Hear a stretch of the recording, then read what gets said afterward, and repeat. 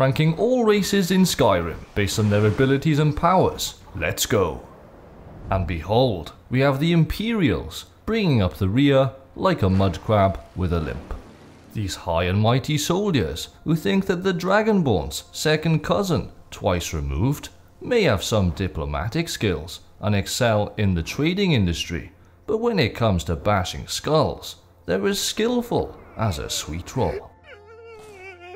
Sure, their passive ability allows them to scrounge up a few extra septims from chests and corpses, but with gold practically growing on trees in Skyrim, it's like trying to sell wolf pelts to a Khajiit. Their power, however, lets them calm all NPCs within a 75 foot radius for 60 seconds, which is pretty useful, especially if you accidentally smack a Whiterun guard. Come on, we've all done it, accident or not. Just don't be in the area when it wears off. But in all seriousness, if you are swarmed by bandits for example, you can use this power, heal yourself up, and pick off the enemies one by one, as the others will still be in a zen state. It's the most potent pacify effect in the game, capable of subduing enemies all the way up to level 99. Unfortunately though, it's useless against creatures, so if you're hoping to stop a pesky skeever from nibbling at your toes, you're out of luck. But it will work on the vampires, no matter how many times they've watched Twilight. But that's it. The Imperials have got nothing else going for them, and they get no bonuses for survival mode. Now get ready for some serious feline bashing, because I'm about to rank the Khajiit. These sneaky kitties may be perfect at sneaking around, but when it comes to their skills and powers, they're barely up to scratch. Their passive ability claims to give them 15 unarmed damage with their claws, but in reality, they only do 12. However, don't be fooled by their modest numbers, because when you add in their base damage value of 10, they pack a pawsome punch of 22. That's like getting hit by an ebony greatsword, except it's fluffy, cute, and will probably purr after knocking you out. This makes them expert brawlers, and Uthgerd the Unbroken will break down into tears once you're finished with her, especially if you have the Fists of Randagulf and the Ring of the Beast equipped. Replay that sentence, and you might find it sounds wrong. The only downside is that unarmed combat doesn't receive its own skill tree, and so it cannot be developed like other skills. But if you're ever up past your bedtime, these kitties have got you covered with their night vision. It's perfect for those late night snack runs or sneaky pickpocketing missions. But adjusting your brightness should do the trick, and if for some reason that's still too dark, you can always whip out a torch or cast candlelight like a wizard. When it comes to surviving in the harsh wilderness of Skyrim, the Khajiit are the ultimate snowcats, able to withstand the frigid cold by 15 points. And if you're ever stranded without any food, these feline wonders can chow down on raw meat without the risk of disease, which is pretty convenient as it saves time finding cooking facilities. And now we have the Bosmer, the vertically challenged archers of Skyrim. Looking at the males alone, these wood elves are the runts of the litter, and believe it or not, their height, or lack of it, puts them at a slight disadvantage. They struggle to reach the top shelf. Nah, but height actually affects movement speed, and so in a 100 meter sprint, my money would always be on the lanky Altmer, who run a staggering 10% faster. Like the Khajiit, the Bosmer are natural born thieves, and their ability also gives them 50% resistance to disease and poison, which might look good on paper, but in practice, it's pretty useless. Sure, you'll have some protection, but there's still a 50% chance you'll catch something, and if you ever do get sick or poisoned, just simply pray to the divines and chug a potion. With their command animal power, they can call forth the deadliest beasts in Skyrim to fight alongside them within a 75 foot radius. It particularly works well on the big boys and these things, as where there's a mammoth, there's usually a giant nearby, just as there are chaurus where there are Falmer. But let's be real, animal allegiance is what you want if you're serious about commanding the animal kingdom. With the third shout, you'll have a huge radius of 250 feet, over three times larger than command animal, and it can be used multiple times per day. It's a real shame too, because if animal allegiance wasn't a thing, I might have cut the Bosmer some more slack. And as a final bonus, Bosmer can resist fatigue by 25% in survival mode, which is pretty good. But if you're feeling drowsy, just remember to take naps. And coming up next, we have the Dunmer, the hot-headed pyromaniacs of Skyrim. These guys are like walking talking fireballs, except they're not as easy to cook as their enemies. With their mastery in fire magic, they're the ultimate grill masters, able to resist flames by 50 points. And with fire being as common as Nazeem's condescending remarks, this resistance is incredibly useful. Whether it's dragons spitting flames, fire mages, flame thralls, or those creepy jumping things, the Dark Elves can take the heat and keep on sizzling. They also start with the spell Sparks, but no one really cares about that. Slap Ahzidal's mask on, and you'll be less flammable than a mud crab in a snowstorm. With 85% resistance to fire and a 25% boost using fire spells, you'll be cooking enemies like sweet rolls and smelling of burnt skeever. And that's not where the fiery fun ends. Activate Ancestor's Wrath, and you'll be a walking inferno for 60 seconds, dealing 8 points of burning damage to nearby enemies every second. This works incredibly well in those Nordic tombs and vampire lairs, as those boys can't stand the heat. But let's be honest, the Dunmer's power is basically just a Flamecloak spell with a fancy name. Sure, you can use it without magic, but Flame Cloak can be used multiple times per day.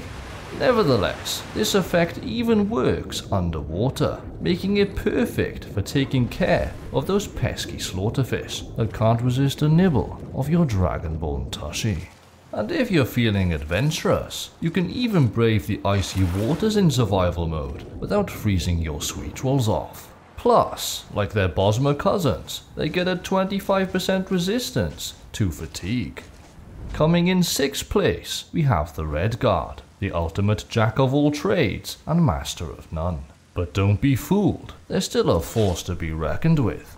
They have a 50% resistance to poison, much like the Bosmer, which is pretty standard, but their racial power, Adrenaline Rush, is where things get interesting.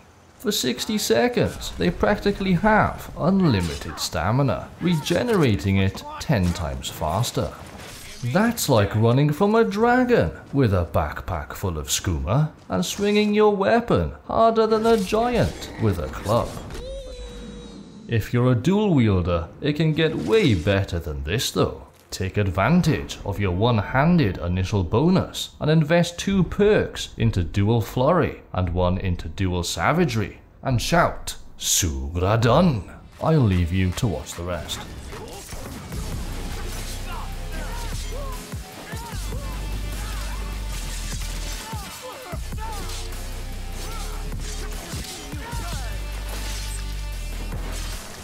Groovy. But don't forget, your stamina won't regenerate while power attacking or sprinting, which kinda makes the secret of strength power the better option. But granted, that only lasts for 30 seconds. However, if you run out of juice mid-battle, just switch to standard attacks before resuming the massacre. The same goes for when you're fleeing the scene. Just run for a short while and pray they don't catch you. Sadly, like the Imperials, the Redguards don't get any bonuses for survival mode. At number 5, we have the Nords, the burly badasses of Skyrim. These rugged inhabitants are built to last, in a province where the weather is as icy as a frost troll's heart. Their natural 50% resistance to frost means they can give a frost dragon the cold shoulder and chill with a herd of ice wraiths without even breaking a sweat. Slap on the dragon priest mask, Dukaan, and their frost resistance will be boosted even further to the 85% cap. And with all the frost damage flying around in Skyrim, you won't take this for granted. But if things start heating up, Nords can let out a battle cry that'll make their enemies run for the hills faster than a horse fleeing from a giant. It's the perfect way to escape danger or to distract foes so you can loot their treasure. Although personally, I prefer the Imperial's voice of the Empire power as they don't run away. Additionally, the sons and daughters of Skyrim can also resist the frigid cold by 25 points, which is helpful when traversing through the harsh snowy terrain in survival mode. Overall, the Nords are like a tankard of mead, strong, versatile, and perfect for any playstyle, even a wizard. And speaking of wizards, the Breton take fourth place. These magical half-elves are like the bane of every mage's existence. Here's why. With their 25% magic resistance, they're already a force to be reckoned with. But if you throw in the Agent of Mara, magic resistance perks, and the Lord Stone, it's like wearing an invisible ward that never runs out. Except they don't need no stinking magicka to cast it. But if you really want to go all out, just throw in some elemental resistance. Even legendary dragons will be shaking in their scales, as it affects dragon breath attacks as well. For a detailed breakdown of how to achieve this level of power, check out the link in the description. But that's not all. With dragon skin as their racial power, paired with the Atronach stone, they become spell gulping machines, absorbing damage from spells, scrolls, poisons, diseases, weapon enchantments, dragon's breath, or shouts, all into their magicka bar. While pretty outstanding, you don't actually need to be a Breton to do this. And forget about the 60 second limit. If you're curious about the various methods, check the link in the description. So with that said, Bretons are still a solid choice, not when you're playing survival mode, but like most other races, their ability and power can be substituted. And if you're looking for some company on your adventures, they do start with the Conjure Familiar spell. Taking the bronze medal, we have the Argonians, or as I like to call them, the Lizard Boys. They're like a fish out of water, except they can breathe on land and underwater indefinitely. It's like having a water breathing enchanted mask. Pretty cool. But let's be real, there's not much to find underwater anyway, except for a few mud crabs and the odd elk. But what would have been better than breathing underwater? How about giving these reptiles the ability to perform underwater karate? Imagine diving into Lake Ilinalta from your Honeyside porch and unleashing a flurry of punches and kicks on unsuspecting mud crabs. Now that would be a sight to behold. And don't forget about the 360 tail whip to really teach those slaughterfish a lesson. They also get a 50% resistance to disease, but as previously mentioned, you can just visit the shrine to cure yourself. However, with their power Histskin, Argonians can regenerate health 10 times faster for 60 seconds, which is extremely useful when in a pinch. But why stop there? Strap on some Imperial Dragon boots and the Ring of Namira. Activate the Lady Stone, grab Sailor's Repose, and unlock the Regeneration perk while wielding Chrysamere, and you'll be harder to kill than a dragon that's been eating its vegetables. Here, check this out. And don't forget about those Argonian claws. You'll get 6 extra damage with your fisticuffs. But let's be real, the Khajiit would beat them in an unarmed scrap. And with a 25% weakness to cold, these lizard boys are like a frost troll in a steam room, and are actually the only race to have a weakness in survival mode. but at least they can eat raw meat without getting sick.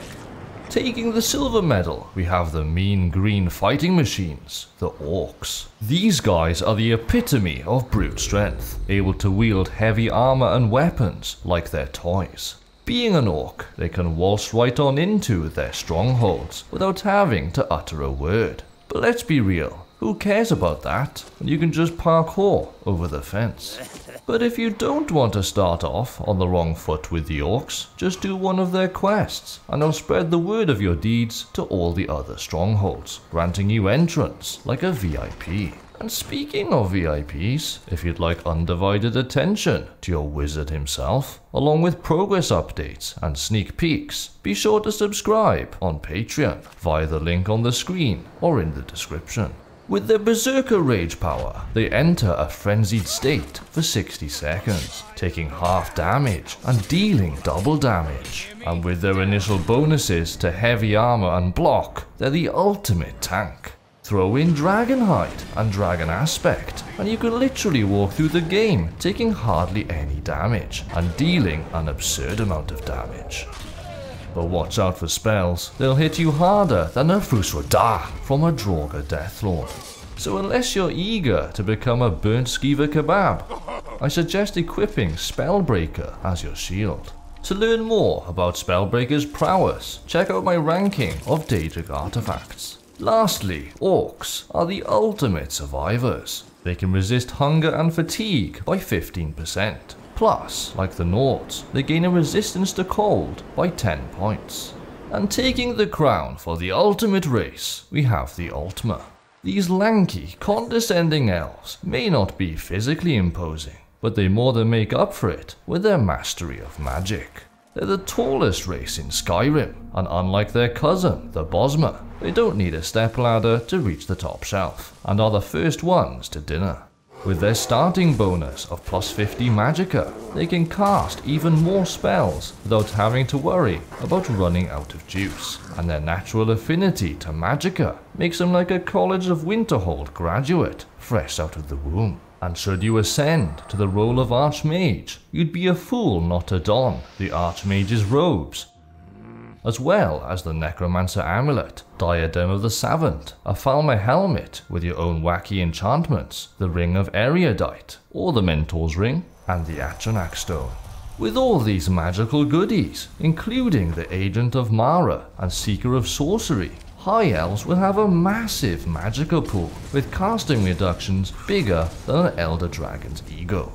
But if you're not a high elf, you can always resort to the cheesy Secret of Arcana power for even better effects, but granted, that only lasts for 30 seconds. And if that wasn't enough, their Highborn power lets them regenerate 25% of their max magicka per second for 60 seconds, allowing them to cast spells with reckless abandon. If only they could use some of that magic to conjure up a personality. But hey, at least they can resist fatigue in survival mode by 25%, so they won't break a sweat while looking down on the rest of us. And so there we have it. Did you agree or disagree with the ranking? Let me know in the comments. And if you want to see some more top-notch Skyrim content, make sure to hit that subscribe button. Thanks for watching, wizards, for this has been the Welsh Wizard, and I shall see you all in the next one.